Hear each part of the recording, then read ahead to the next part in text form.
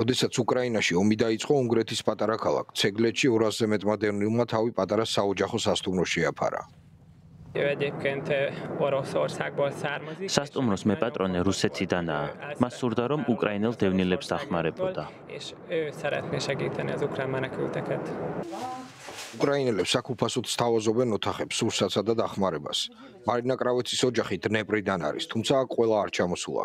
მისი მეუღლე დარჩა უკრაინაში, სადაც მას საფრთხე ემუქრება. Ჩემი ცხოვრება აირია. ყველაფერი თავდაყირა დადგა.